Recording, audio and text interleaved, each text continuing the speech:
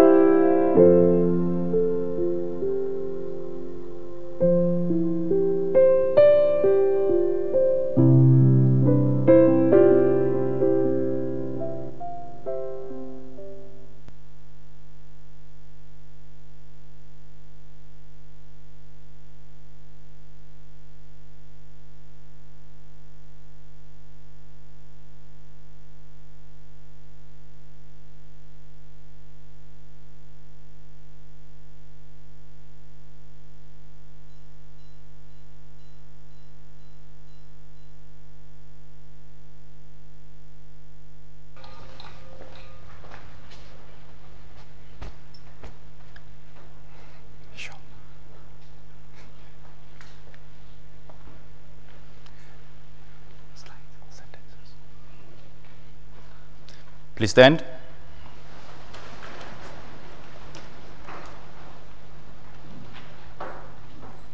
I am the resurrection and I am the life, said the Lord. He who believes in me, though he die, yet shall he live. And whoever lives and believes in me shall never die. I know that my Redeemer lives, and that in the end he will stand upon the earth. I, I myself will see him with my own eyes, I and not another.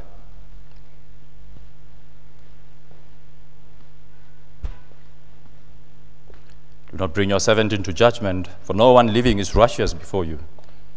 I'm sure that neither death, nor life, nor angels, nor principalities, nor powers, nor things present, nor things to come, nor height, nor depth, nor anything else in all creation will be able to separate us from the love of God in Christ Jesus our Lord.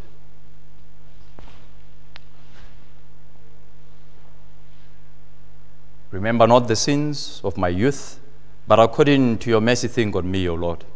We brought nothing into the world, and we take nothing out. The Lord gives, and the Lord takes away. Blessed be the name of the Lord. For now we see in a mirror dimly, but then face to face. Now I know in part, but then shall I know, even as I am known. None of us lives to himself, and none of us dies to himself. If we live, we live to the Lord. And if we die, we die to the Lord. So then, whether we live or whether we die, we are the Lord's. The eternal God is thy refuge, and underneath are the everlasting arms. In my Father's house are many mansions. If it were not so, I would have told you, I'm going there to prepare a place for you. Eye has not seen, nor ear heard, nor the heart of man conceived what God has prepared for those who love him. We believe that Jesus died and rose again, and so it will be for those who died as Christians. God will bring them to life with Jesus. Thus we shall be with the Lord. Comfort one another with his words.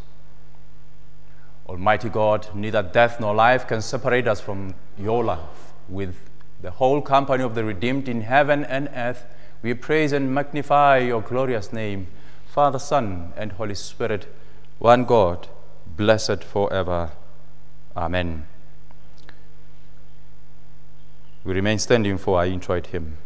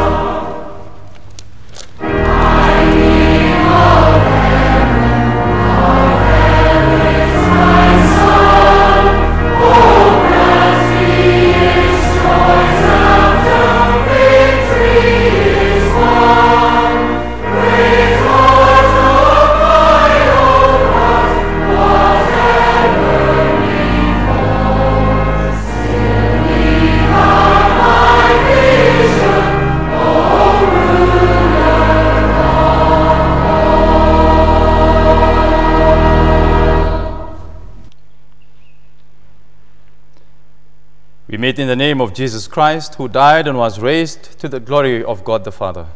The Lord be with you.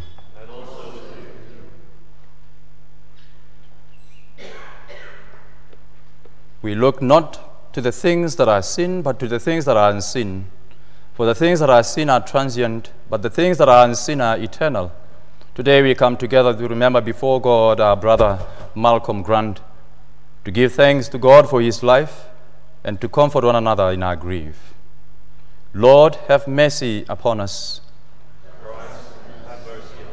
Lord, have mercy upon us. Let us pray for the unity of all people on earth in the words our Savior taught us and in the language of our hearts. Our Father in heaven, hallowed be your name. Your kingdom come, your will be done on earth as in heaven. Give us today our daily bread. Forgive us our sins as we forgive those who sin against us. Lead us not into temptation, but deliver us from evil. For the kingdom, the power, and the glory are yours, now and forever. Amen. Father in heaven, we thank you because you made us in your image and gave us gifts in body, mind, and spirit. We thank you now for Malcolm and what he meant for, to each of us. As we honor his memory, make us more aware that you are the one from whom comes every perfect gift, including the gift of eternal life through Jesus Christ. Meet us in our sadness and fill our hearts with praise and thanksgiving for the sake of our risen Lord, Jesus Christ. Amen. God our Father, your Son Jesus died and rose again for our salvation we entrust to you the soul of your servant Malcolm Grant, praying that he and all the departed may be revealed as your children when Christ shall come again, to whom, with you and the Holy Spirit, be honor and glory now and forever. Amen. Please be seated.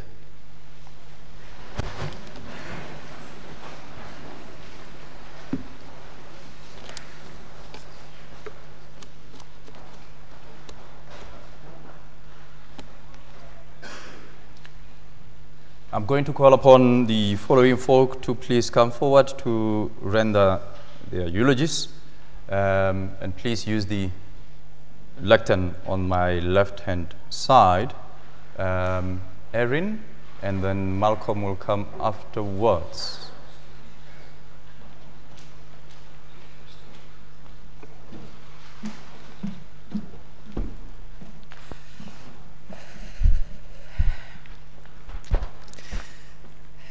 Morning.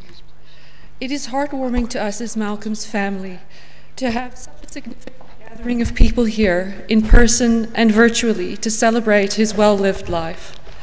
We have been so blessed over the past week by the outpouring of comfort and the tributes expressed in respect of the contribution he made on earth. We are so deeply grateful. My name is Erin Ferguson Ormond, and I'm Malcolm's daughter. I mention my full name because the choice to retain the name Ferguson as part of my married name was an early adulthood reflection of the legacy my dad instilled in us regarding our Scottish heritage as a Ferguson, and a strong desire to recognize the principled upbringing that he had shaped. Dad was born in Pietermaritzburg in January 1952, the firstborn of much anticipated twins. Raised by my grandmother, a nurse, and my grandfather, a police detective, he developed a strong sense of principles early, often quoting his father, who was also known as Fergie. Because of my grandmother's profession, which was truly her calling, and his own early health struggles, he also developed a strong and ever enduring sense of empathy for those in need, as well as a solid advocacy for the underdog. Once he graduated from the University of Natal with both a BA Law and an LLB, he entered the cadet course for the South African Foreign Service and never looked back. He had found his own calling serving his country and excelled as both a civil servant and as a diplomat during his postings to Israel and the United States, returning later as the ambassador to Israel and finally as ambassador to Mexico and a number of South American countries. Following Dad's retirement, which he would hear none of, he found his final and enduring calling in the agricultural sector, driving the establishment of inclusive partnerships across the sector to ensure its ongoing viability and sustainability. As you can tell, Dad took his work very seriously, but the business of being Dad was the most important role he had. Dad was a creature of habit, most notably his morning routine of Weet-Bix for breakfast every day, except on Saturday, and putting his socks on before his pants. When he wore pants, that is. As some of you'll know, he was a devoted member of the Ferguson clan, and therefore wearing his kilt was part of his conviction. His routine and structure were notable, and I remember him saying on many occasions, quoting his own father, messy bed, messy head, and haste makes waste.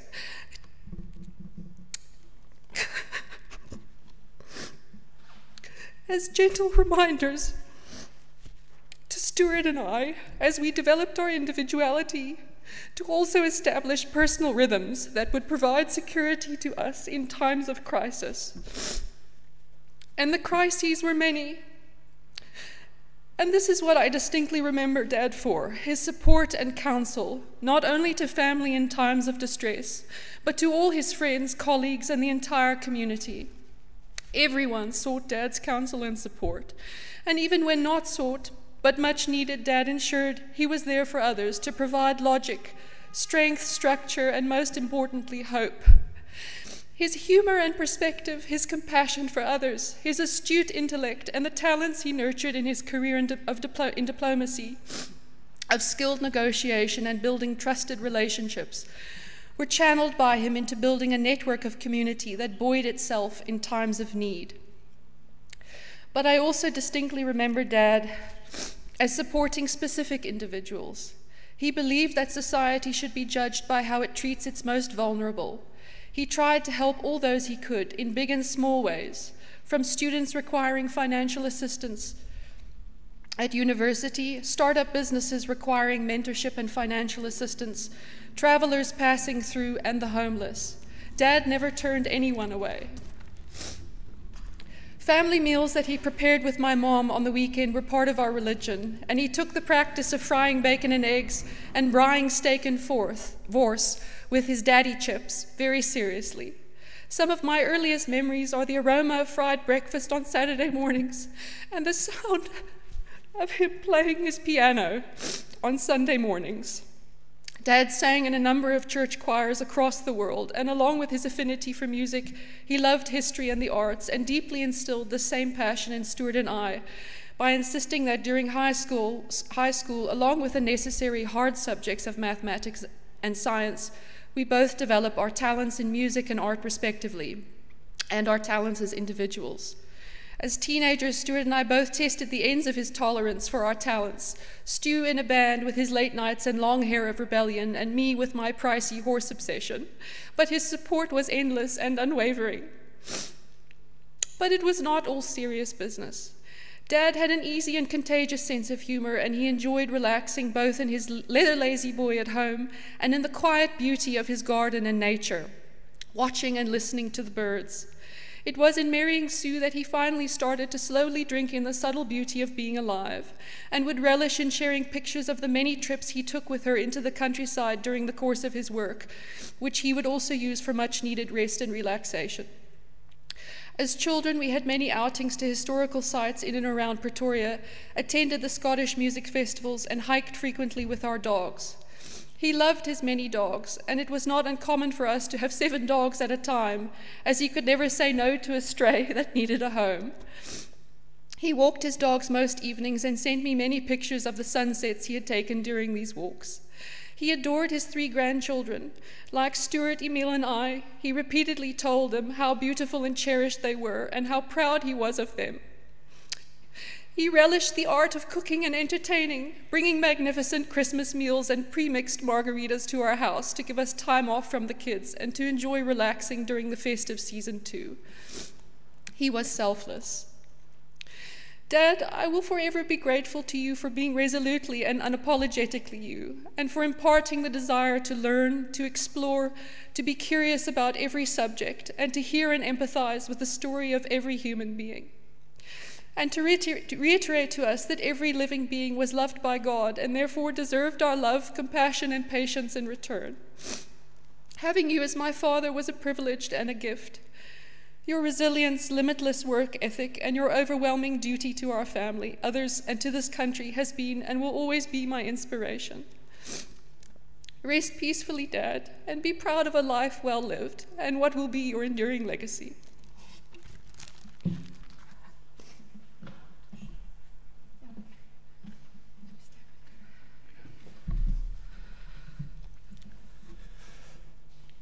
Hello, everyone. My name is Stuart Ferguson. I'm Malcolm's son. To tell you I'm devastated is not true. I'm far beyond that. I was notified of my father's passing when I finished work in Toronto last Friday. And I'm grateful to my sister that she said, You have to sit down to hear this. I could talk to you about my father for hours, but nobody likes a long speech. And I don't think I can top my sisters. Well done, Beanie. I'm going, to, I'm going to give you some insight into who my father was. And growing up, some of my first memories of my father, and I saw in, in the slides earlier that one of them's there, is we had a double carriage that my pram that my sister and I used to be pushed around in. And I remember my father pushing me in that. I recall my father constructing a swing set for us. And uh, he used several select four letter words, which are not good for church. But he managed to do it, he made sure it happened. I remember one of my favorite places when we were in Washington, D.C., was my sandbox. He built it for me. He bought a tarp, he bought wood, he constructed it, he put sand into it. Not a complicated operation, and it was executed perfectly for my three year old mind, but the amount of joy it gave me, I cannot explain. He told me I must take my trucks and my digger and put sand in the, the truck, in the dump truck, and move it to the other side of the sandbox and dump it off and use the crane to move it and repeat and just keep doing that until you run out of sand. When you run out of sand, you go back the other way. You know, it seems inexplicable like why you would do this. But as a child, it's entertaining, but it also teaches you work. It teaches you a work ethic, that life cannot just be chaos. My father was one of the most ordered men I've ever come across. Except maybe sometimes his home office, which is a bit cluttered. But he knew where things were. He knew which pile to look in. He knew who to call when he needed something. He had so many contacts. He knew so many people that he touched so deeply. And the, the, the turnout here at the church today is just incredible. It's just absolutely unbelievable. And I can honestly say, my family and myself, we are grateful that all of you came. I recognize many of the faces here, some of them I don't. Some of them know who I am, I've just forgotten who you are. Because my, fa- my father's, from when he started to when he finished, he influenced, as my sister said, so many people. I will tell you another lesson my father taught me is that he said, always do your best. Always. In everything you do, you do your best. And sometimes your best isn't good enough. So that's when you practice and you learn. And you learn more until you can do what you need to do. You never give up. Fail, you do not fail if you fail. You only fail if you don't try again. And that was his attitude to everything in life. Uh, my sister shared a wonderful idiosyncrasy about my father, about putting his socks on first. There is logic to this. I can explain it to you, but I'm not going to. I will tell you, however, about one of the incredible things my father used to do specifically with me. So, and I'll give you an example. He didn't like to use the nouns and verbs, etc., that were appropriate for the situation. He would just substitute it with a thing. We were putting together a table, and he asked me for the thing, for the things to put into the thing. Okay, so I'm helping him, and you know, I'm maybe 11 years old, and then I said, What thing? And he said, The thing. And then, you know, I said, Please, I need you to tell me. He's like, Oh, I need the hammer for the nails to put into the table. It just, and he used to do this quite often. And I'll share just a couple more memories, and then I'll, I'll, I'll, I'll wrap up. Is my father loved rugby. My father loved rugby. His opinion, if you loved anything more than rugby, there was something wrong with you. And he used to, all the time, and I'm very happy to see him, uh, Wombas, he used to drag us out as kids to go and watch rugby, whether we liked it or not. And I'm so grateful for it because to this day I love rugby. I absolutely love rugby. I spoke to my father consistently since I've been in Canada, a few times a week at least, at minimum, because he was my friend and he was my consul and he guided me. But he, in our conversations, we used to find the most random things. And that is the final lesson that I'm going to share that he taught me is to never have a closed mind. Always learn. You can always learn more, and things are interesting. Life is only boring if you close your mind to it. The last conversation I had on the phone with my father was a discussion about the benefits of a trolley pole versus a pantograph. If you know what those things are, that's great. If you don't, it doesn't matter. But these are the things we used to discuss. I would learn, and I would often learn things with him, and he would teach me. And Pops, you were a wonderful father, and I find solace in knowing that you're sitting with the Lord right now, looking down on us. Thank you very much for your time. God bless you.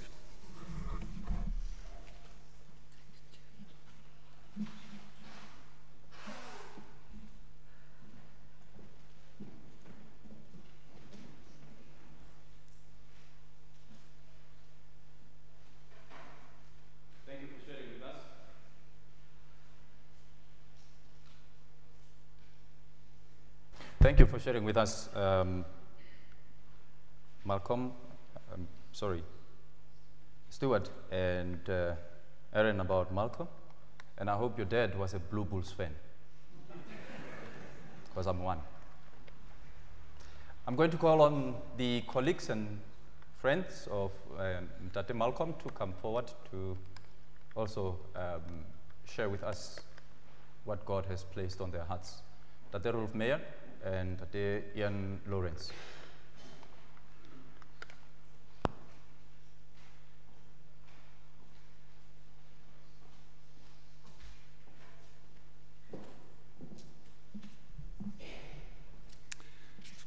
Good morning. My name is Rolf Meyer, and I appreciate the fact that the family has asked me also to make a contribution.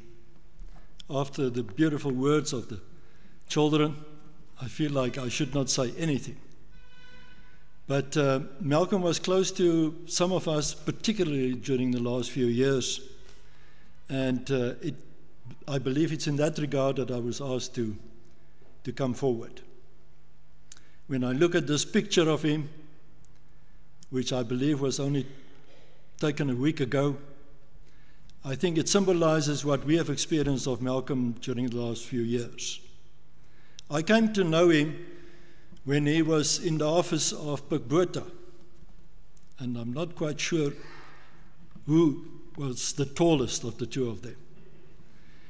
Uh, but he was uh, already by then an impressive young servant of the Department of Foreign Affairs, as it was then. I thereafter came uh, across him on uh, overseas visits and during the services that that he uh, offered in various countries for South Africa. Uh, but I lost contact over a period of time.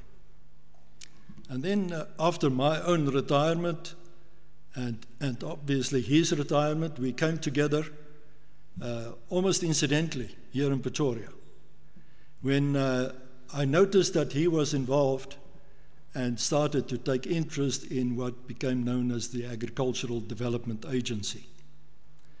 Uh, it was during that period that we started to work together very closely, and also with many of you who are here present this morning. So, my words would go to him especially to thank him and appreciate the role that he has played in that regard. Uh, in my last comment that I wrote to, for him last Friday evening, uh, after hearing the passing, tragic passing of, of, of Malcolm, I said that I can't believe the many friends and, and fans that he has created in such a sp- short space of time.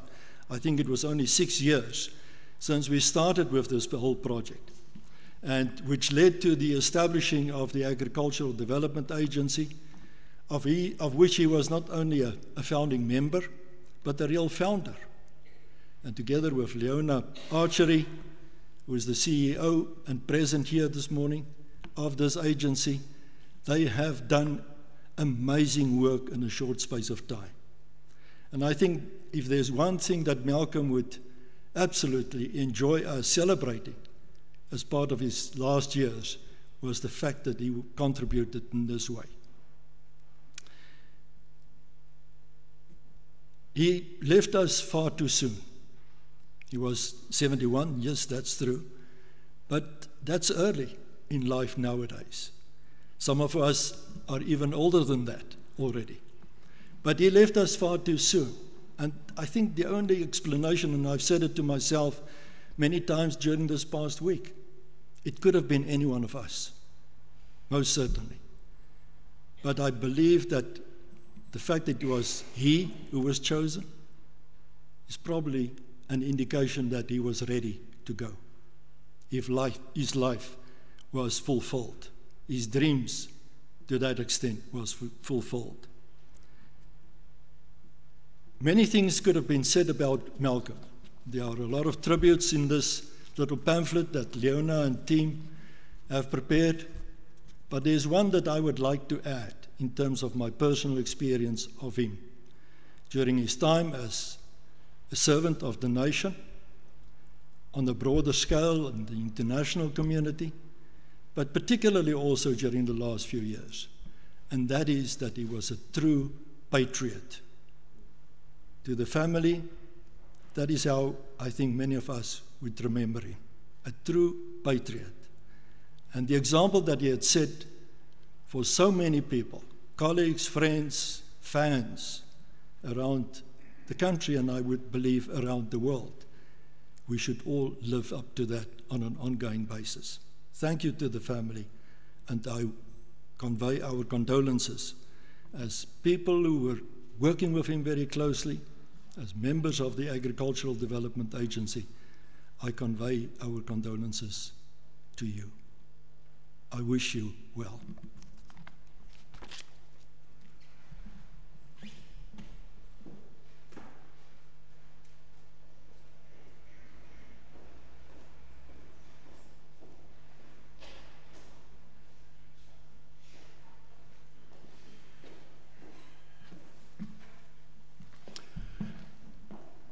Thank you for this opportunity.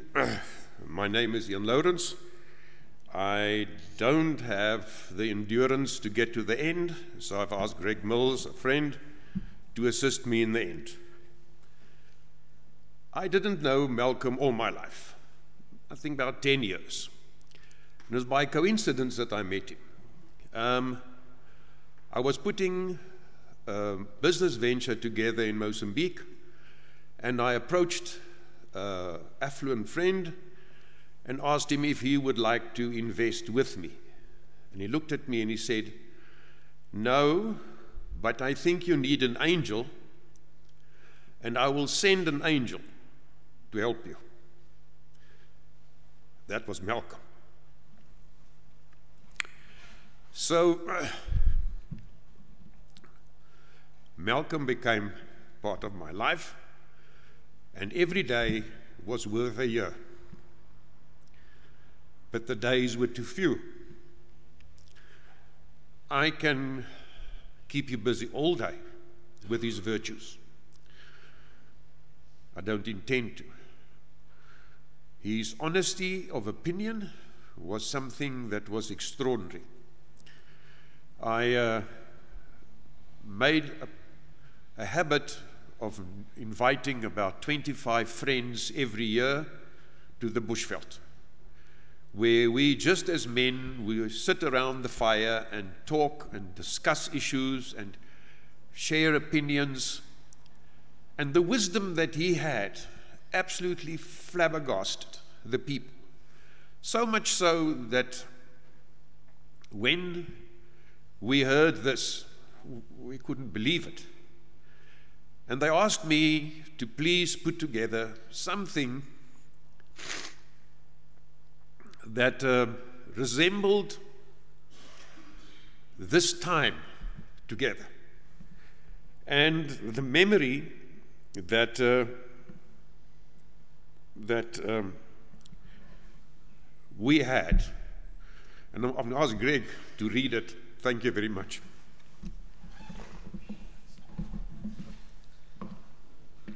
So I'm the uh, version of the bomb squad uh, coming off the bench. Uh, thank you very much, Ian. Uh, he says, Tonight the sun will set in Africa. The guinea fowl will return to congregate under their sleep tree. After a short heated argument, each one will fly into the roost and settle for the night. An uneasy silence holds, but only for a short while, until a jackals howls Checking on his mate, she calls back, confirming her position. Silence. Then a mighty roar booms from the resident pride male. His roar rumbles on over the plains of Africa. He is calling Malcolm to his eternal home. Rest satisfied for all you have accomplished, my special, gentle friend, Malcolm Ferguson. Remember, men like you never die. You are carved in our memories forever. And us? When we stare into the fire under the Southern Cross, telling stories of good men, we will whisper your name. Then we will plant a tree for you to mark one of the many paths you walked and the trails you left behind in this world.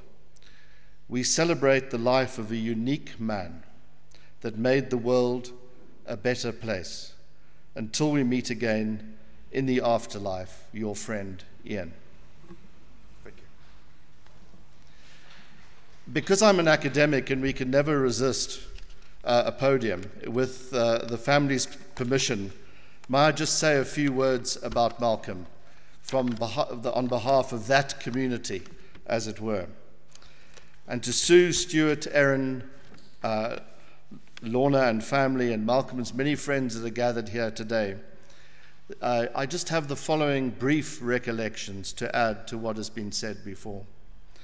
Now, Malcolm was one of the first old DFA, and there are many of you represented here today, officials I met, and that was in the bathroom of the South African Institute of International Affairs. You don't have to read anything into that. On returning to South Africa in 1990, and we remained firm friends ever, sen- ever since. Uh, he was a man of studiously wise counsel which is what we have heard repeated here over and over today. Despite the age gap of more than a decade, he sort of adopted me as a rather errant academic child uh, in his world uh, in his with his extraordinary insights in, into diplomacy. And as a consequence, we shared many adventures together in Venezuela, in Nigeria, which I'll come back to in a second, in El Salvador, Colombia, Costa Rica, Mexico, and all over the many agricultural spots of South Africa, as we've heard. Together we wrote, we attended conferences, we conducted field work, and we laughed a great deal, often at our own expense.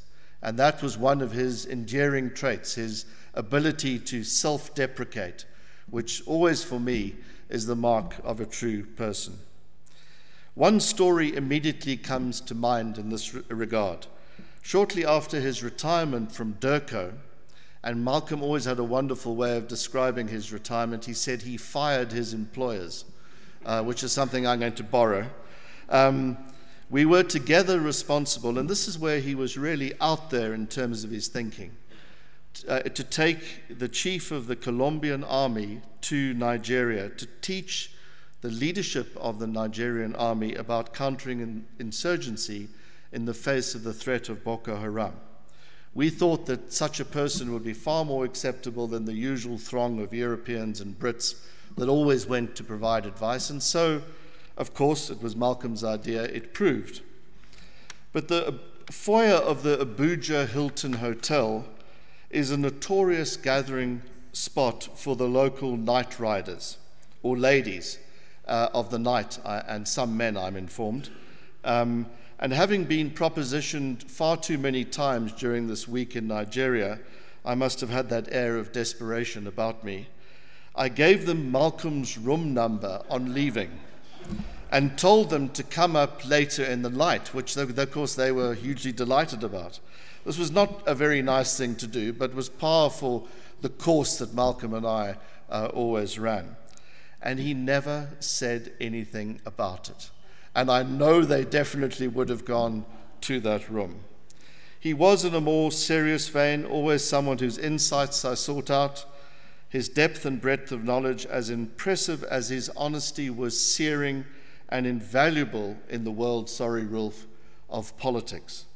He had a lovely expression, your eyes never lie. It was something that his father had taught him, and it was something that my father, coincidentally, had taught me.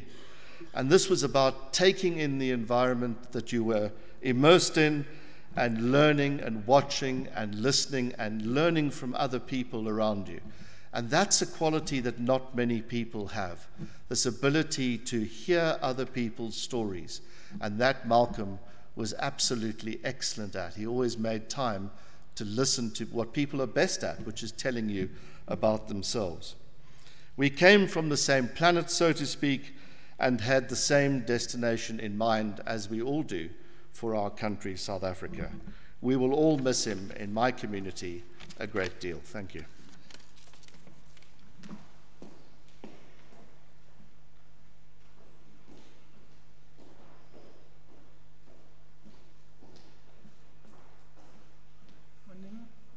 I'd like to ask Lorna to come and say a few words, Malcolm's twin sister.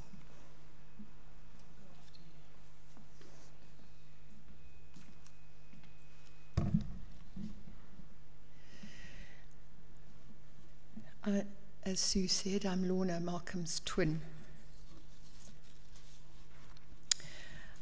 I was greatly privileged to have as my twin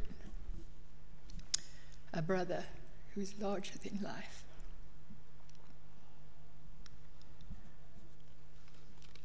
He came into the world and drew, and drew breath 10 minutes before I did. And now I have to work out how I'm going to continue without him. Because a twin relationship is completely unique. If there are any twins in the audience, I think you'll understand that as well. You never feel alone. And it didn't matter how many or what hemispheres divided us the north and the south, or the east and the west we always spoke on the telephone.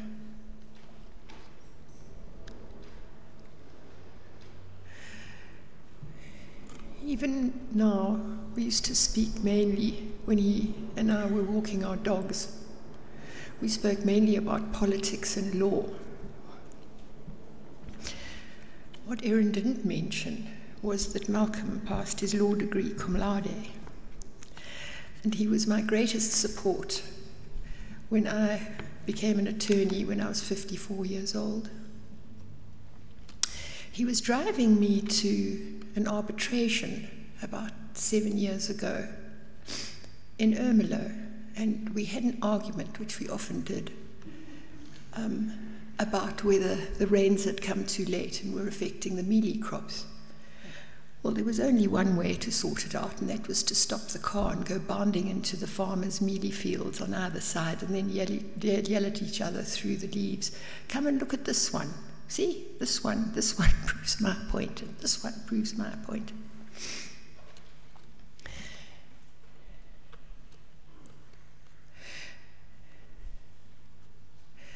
We also spoke a lot about our dogs, and we used to send each other photographs of our dogs all the time. not very long ago, about six weeks ago, Malcolm's very aged little fox terrier fell into the swimming pool and nearly died. Anyway, he rescued her.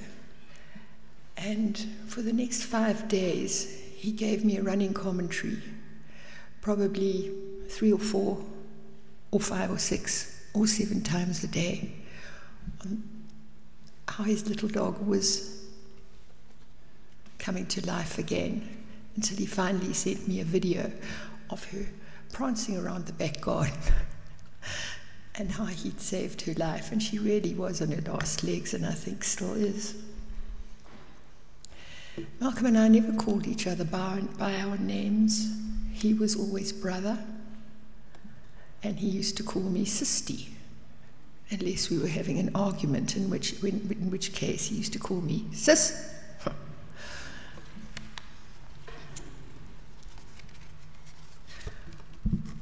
I would just like to tell him how much I love him and how hard it's going to be to not have him around. Thank you, brother, for being there always for me.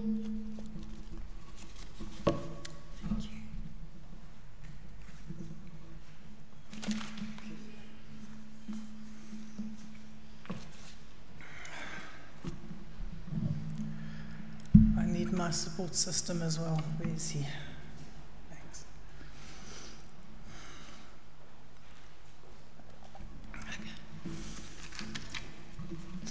I'm Sue Fortina, um, Malcolm's wife recently. A lot of people have asked me how I am, and thanks for your concern. And as you can see, I'm fine. Nothing is broken except my heart. People have asked me what happened, so I thought for closure perhaps um, I can just talk about that briefly. I believe he had a heart attack and lost consciousness before um, drifting across the road and hitting a parked tanker on the other side. Um, we were on our way to an overnight stop after a very successful farm visit on AgDA Business, and he had been really happy that day and very happy with the decisions made. This picture was taken on that farm visit, so. I met Malcolm late in life. We met online, and I knew immediately that he was somebody really special and that we were kindred spirits. We wrote to each other for several weeks, and when we finally met in 2016, I was impressed by his air of quiet confidence and his kindness. I was privileged to be married to him for three years, and I had hoped that it would be so much longer. Malcolm was not just a good man, he was a great man. You've heard some of the tributes. We received literally hundreds. And he was also a very humble man, and I didn't hear many of the stories until much later. This yellow sash draped over his picture is a knighthood conferred on him by the Mexican government for services rendered to their country. I didn't know this until Malcolm wore it on our wedding day. Despite rubbing shoulders with high level politicians and leaders, he was very down to earth.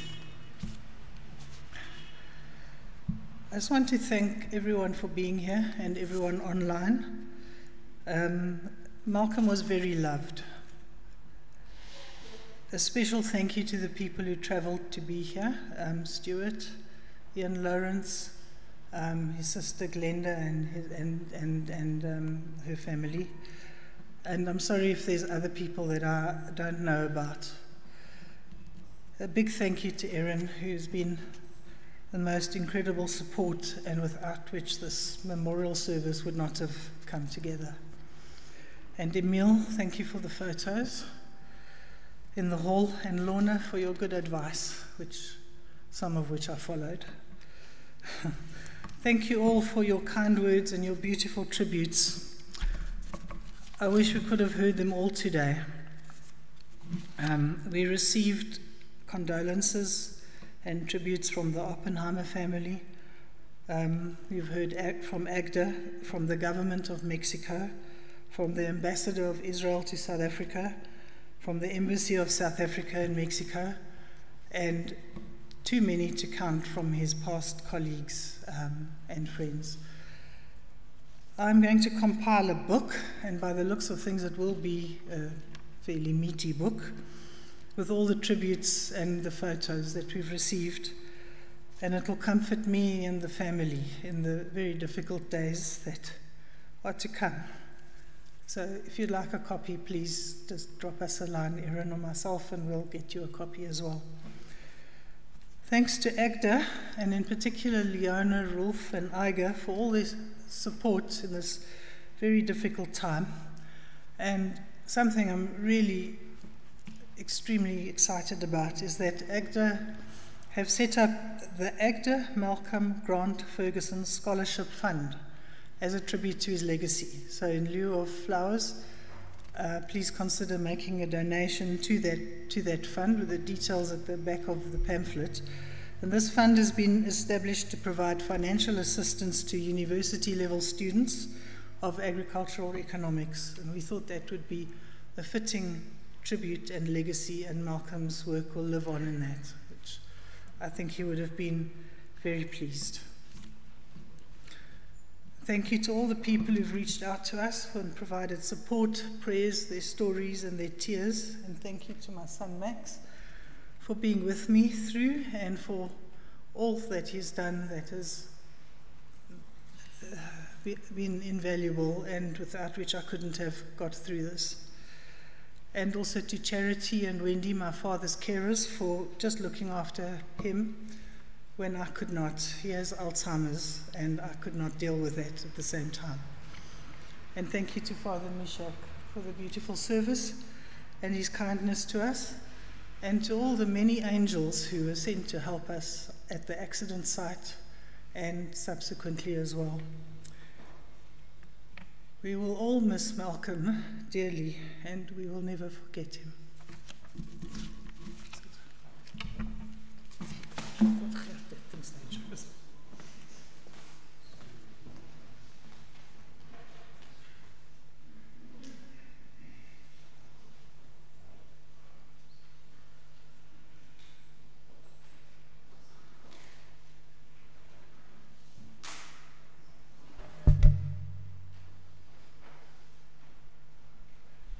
Folks. We continue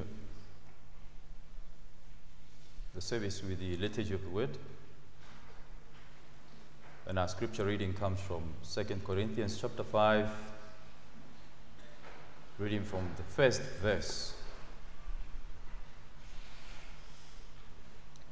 For we know that if the earthly tent we live in is destroyed, we have a building from God, an eternal house in heaven, not built by human hands. Meanwhile, we groan, longing to be clothed instead with our heavenly dwelling.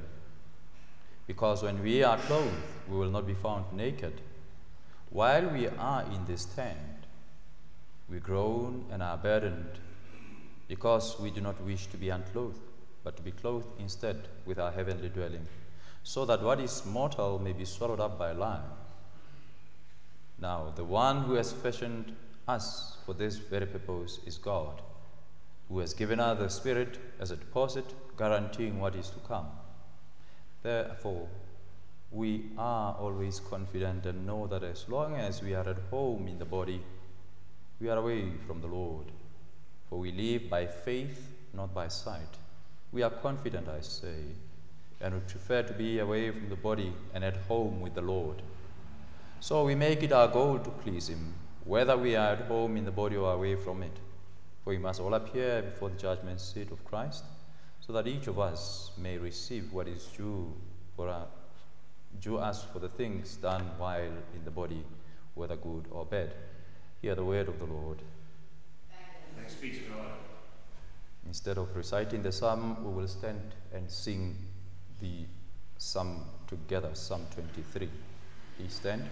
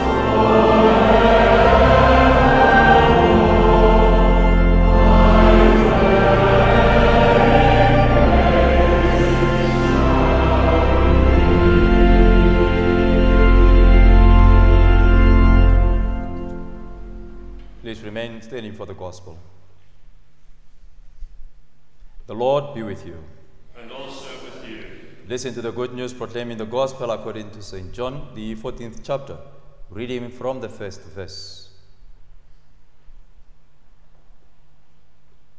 Jesus said, Do not let your hearts be troubled. You believe in God, believe also in me. My Father's house has many rooms. If that were not so, would I have told you that I'm going there to prepare a place for you? And if I go and prepare a place for you, I will come back and take you to be with me, that you also may be where I am. You know the way to the place where I'm going. Thomas said to him, Lord, you don't know where you're going, so how can we know the way? Jesus answered, I am the way and the truth and the life. No one comes to the Father except through me. This is the gospel of Christ. Praise, to Christ our Lord. Please be seated.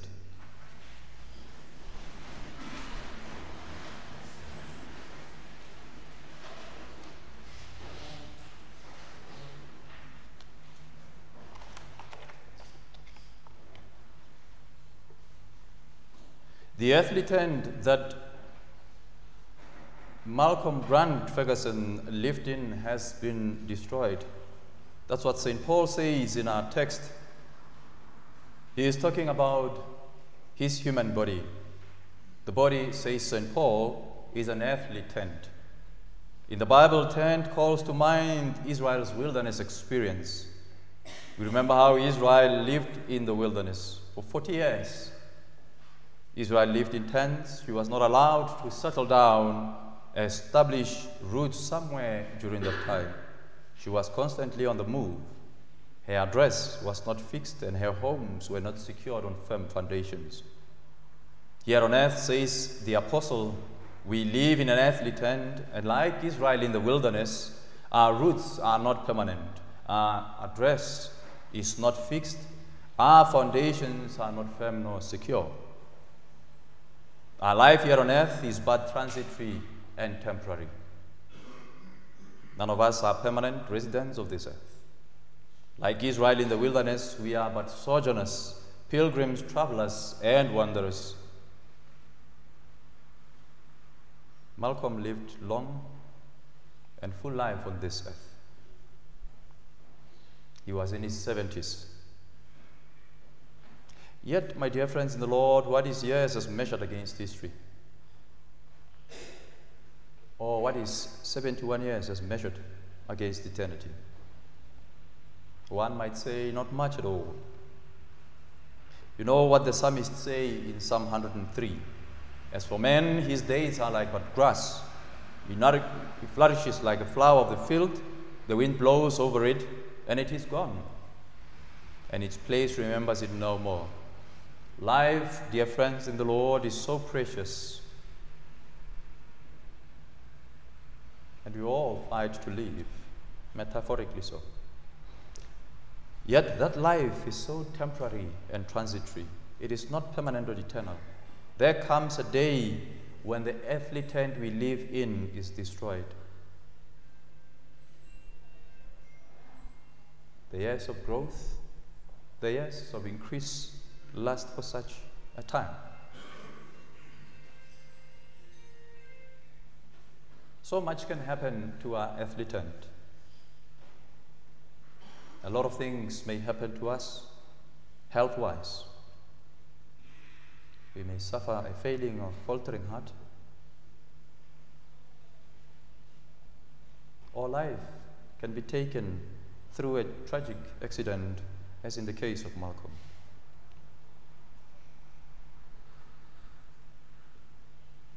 But, my dear friends in the Lord, no matter how that happens, we are assured that by the words of the gospel, these people of God are going home. St. Paul sums this up by saying, While we are in this tent, we groan and are burdened. Whatever the case may be, or cause may be, someday the earthly tent we live in will be destroyed and we will return home and be with our Maker, as is the case with Malcolm, whose life we celebrate and give thanks to. The tent image indicates that we are sojourners, we are pilgrims, we are travelers and wanderers while on this earth. This indicates that we are on a journey to another place, a much more better place than where we are. The end of the Christian's journey causes tears to fall on the part of those who are left behind, as is the case now. For they will miss the person whose journey has ended. The end of a Christian journey, however, my dear friends in the Lord, should not lead to despair or inconsolable grief. Sure, the journey has ended. The earthly tent has been destroyed. A loved one has been taken from our sight. But there is reason for hope and joy. There is comfort for those left behind, for we are children of God. St. Paul, inspired by the Holy Spirit, points out comfort for God's children, comfort for the present, and comfort for the future. For the present, there is comfort to be taken. If a Christian ends his or her journey, and God is pleased with how life was.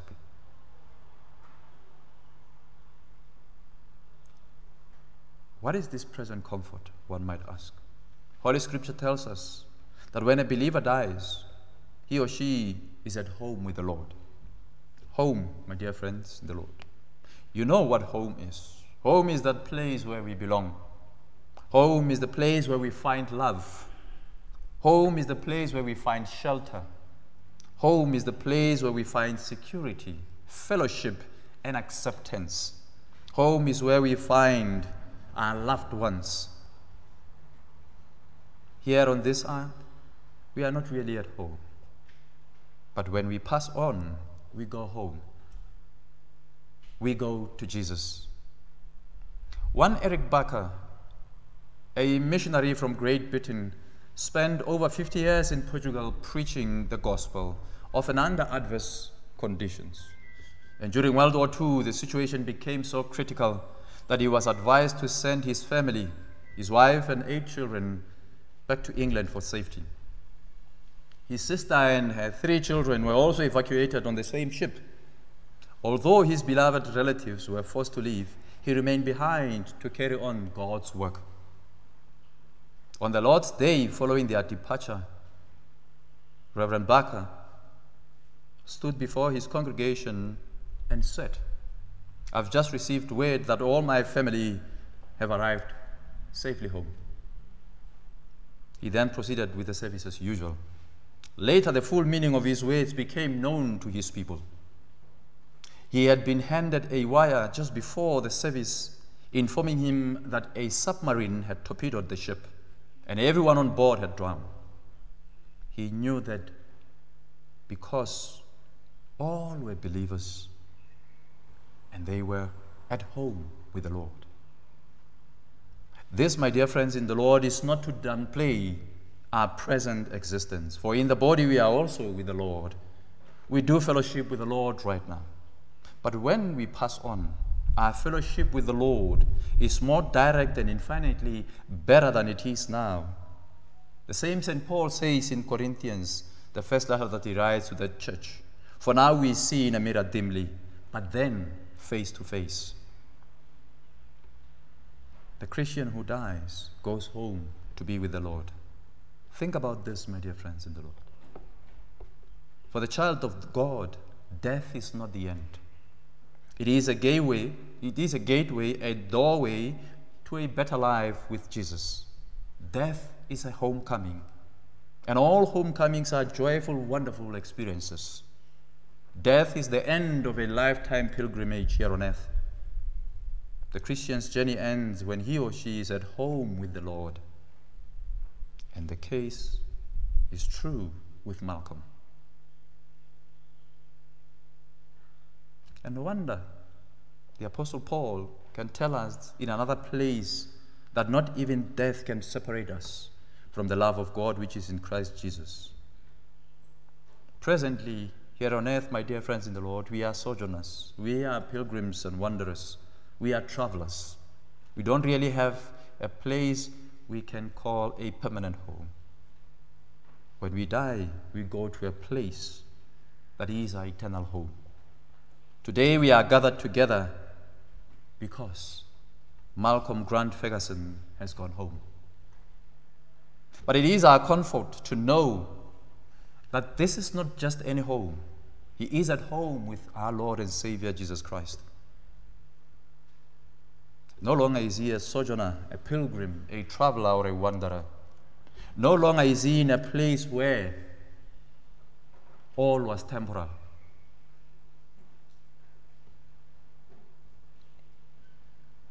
And I can say this confidently because when we met with the family and talked about who he was,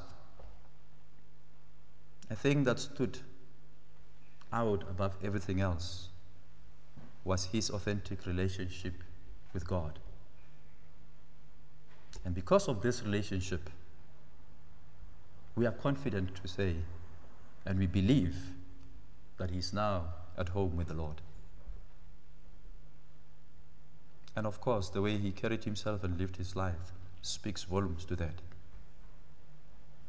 He made it a point, the way he lived his life, that he pleased only his Lord. As he saw the image and the likeness of God in others, and when going on to serve them as best as he could. And therefore, confidently so, I can say his life revolved around Jesus. His life was a living testimony to his faith as one who had the words that Jesus said Love your neighbor as you love yourself.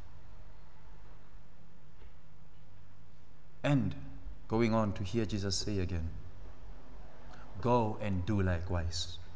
And that's how he lived his life. And so, my dear friends in the in the Lord, we have this confidence. Death is not the end for him. Rather, it is a homecoming. And he knew this. Dying is not bad if you know where you are going. He knew where he was going. He knew he was going home. He knew he was going to be with his Lord. And there is also a future comfort. The Apostle Paul says, We know that if the earthly tent we live in is destroyed, we have a building from God, an eternal house in heaven, not built by human hands. As I said, my dear friends in the Lord, presently we are sojourners, travelers, and wanderers here on earth. In the future life, we live in a permanent structure with a secure foundation, a structure that lasts forever, a structure that will never decay or be destroyed our earthly tent, though it is a gift from God, is the result of the union between a man and a woman. Our eternal house, on the other hand, is made by Jesus. And you know the words of our Lord do not be, or rather, do not let your hearts be troubled. Trust in God, trust also in me. For in my Father's house are many rooms. If it were not so, would I have told you that I'm going ahead of you to prepare a place for you. It is Jesus who is making our eternal house. And his promises holds true. And what is this eternal house not built by human hands? It is our glorious resurrection. We may now live in a tent but there awaits God's children a permanent building. We may now be sojourners, pilgrims, travelers, and wanderers, but there will come a time when we can put down permanent roots. We may now live in a decaying and aging body, but there awaits us a glorious resurrection body. The body does not grow old. This body does not suffer pain or illness this body.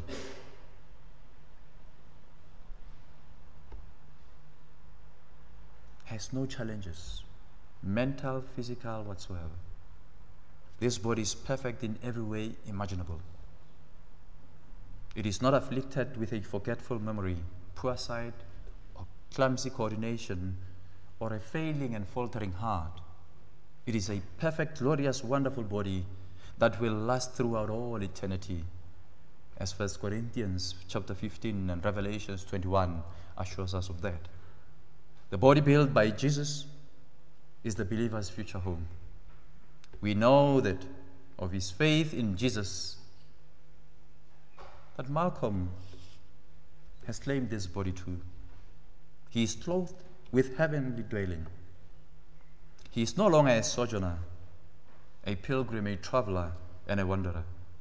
Someday, my dear friends in the Lord, the journey of each one of us will also come to an end.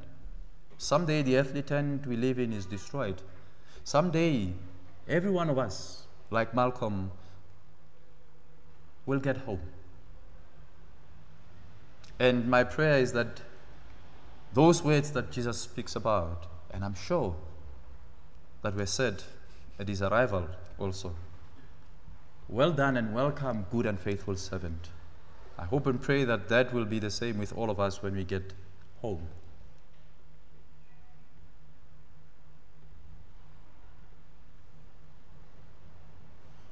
Remember, my dear friends in the Lord, there awaits us a building, an eternal house in heaven, not built by human hands. As Jesus assures us, do not let your hearts be troubled. Trust in God, trust also in me. In my Father's house are many rooms. If it were not so, I would have told you. I'm going there to prepare a place for you. And for that, we give thanks to God that Malcolm has found a room in that home. Malcolm is part of that. We continue to pray for his soul. We continue to pray for his loved ones left on this side of eternity.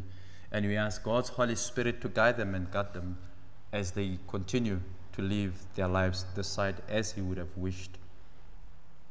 And to you, loved ones, family, and friends, may the Lord bless you and watch over you. May the Lord make his face shine upon me, gracious to you. May the Lord look kindly upon you and give you peace.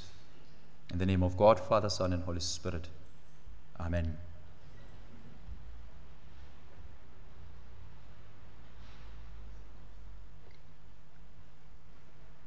Brothers and sisters, Jesus Christ is risen from the dead and sits at the right hand of the Father, where he intercedes for his church, confident that God hears the voices of those who trust in the Lord Jesus. And so we join our prayer to his.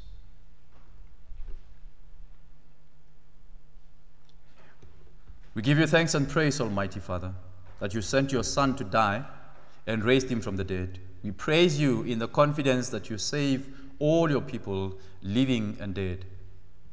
Lord, hear us. We thank you for Malcolm Grant Ferguson, who in baptism was given the pledge of eternal life and is now admitted to the company of the saints. Lord, hear us.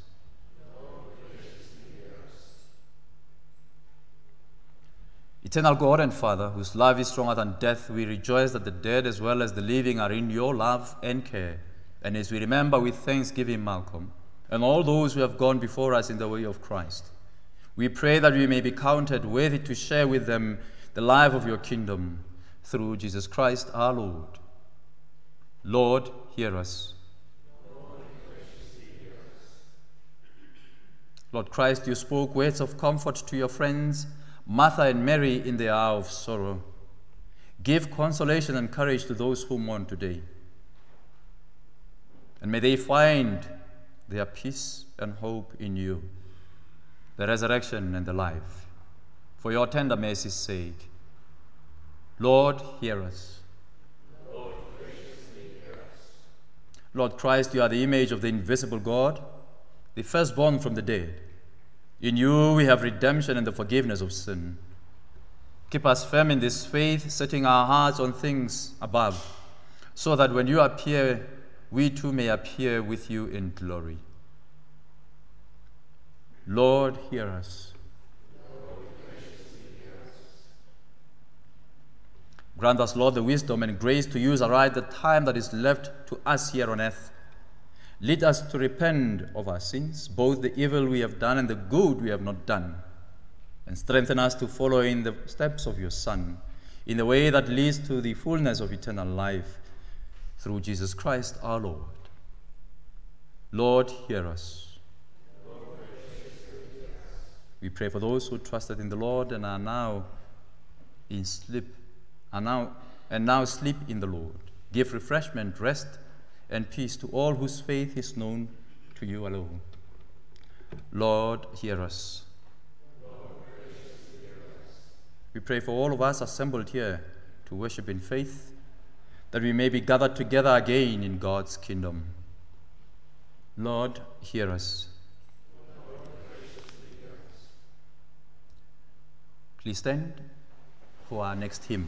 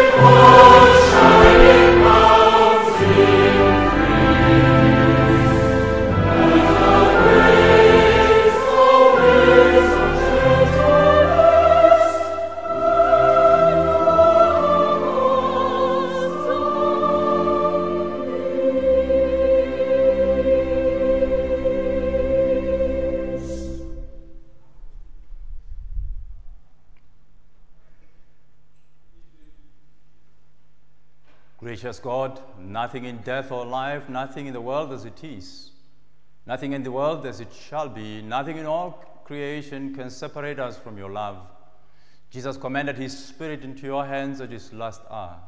Into those same hands we now commend this your servant, Malcolm Grant. Having died to this world, cleansed from sin, death may be for him the gate to life and to eternal fellowship with you. Through the same Jesus Christ our Lord. Amen. To God the Father who loved us and made us accepted in the Beloved. To God the Son who loved us and loosed us from our sins by his own blood. To God the Holy Spirit who shared the love of God abroad in our hearts. To the one true God be all love and all glory for time and eternity. Amen. Alleluia. Please be seated.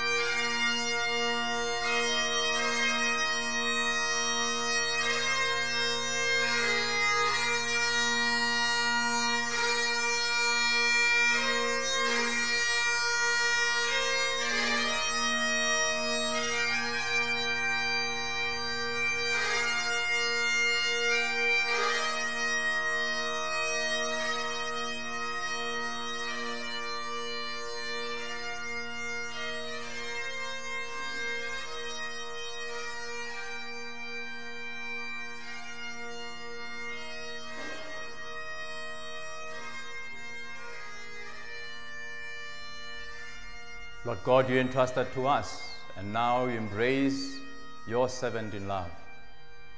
Take into your arms, together with all those who have died, comfort us, your servants, who seek to do your will and to know your peace. We ask this through Christ our Lord. Amen. The God of peace, who brought again from the dead our Lord Jesus Christ, that great shepherd of the sheep, make you perfect in every good work to do his will. And the blessing of God Almighty, the Father, the Son, and the Holy Spirit be among you and remain with you this day and always. Amen. Rest eternal grant unto him, O Lord, and let light perpetual shine upon him. May the divine assistance remain always with us, and may the souls of the faithful departed, through the mercy of God, rest in peace and rise in glory. Thank you very much for joining us for this celebration of the life of Mr. Ferguson. Please do join us in the hall for refreshments and for some time of fellowship with the family. There is one final rendition before we leave the church that bids farewell to Malcolm.